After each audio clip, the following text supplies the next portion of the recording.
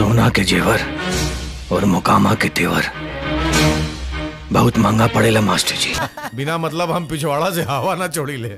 फिर लेकी कैसे छोड़ दी रे भोजपुरी खलनायक का है खुद का महल। सुशील सिंह एक भोजपुरी फ़िल्म अभिनेता है। उन्होंने कई भोजपुरी सुपरस्टार के साथ काम किया है।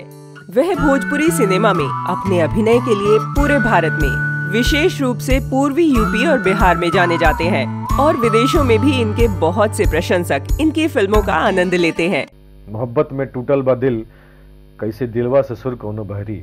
ये आँसू भी ऐसा चीज़ बा अखिया में पल भर न ठहरी। वह बहुत प्रभावशाली और सुंदर है।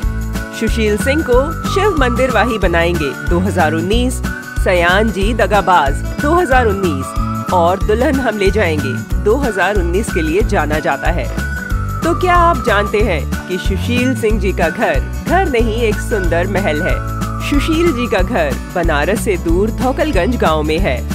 इनका घर एक महल है।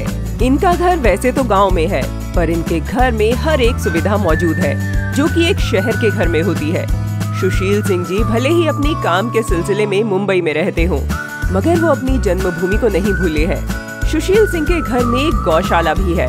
उनका घर फ़िल्मों में दिखाए जाने वाले घरों जैसा है। उनके घर में उनकी पहली भोजपुरी फ़िल्म आज जो कि नाना पाटेकर के साथ थी उसकी शूटिंग भी हुई थी। आग गाँव में नहीं यहाँ लगी है मोरे कलेजे में। इसकी गवाही नहीं फैसला होगा। शेर सोया हुआ है उसको मरा हुआ जानकर लांगने का कोशिश मत करो।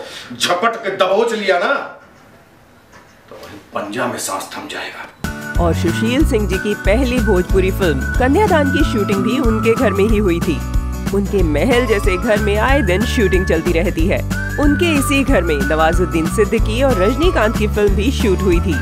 उनके घर में भोजपुरी, हिंदी और साउथ इंडियन फिल्म्स की शूटिंग चलती रहती है। अगर आप वीडियो YouTube पर देख रहे हैं तो चैनल को सब्सक्राइब करना बिल्कुल ना भूलें। और Facebook पर देख रहे हैं तो चैनल को फॉलो कर लीजिए। धन्यवाद।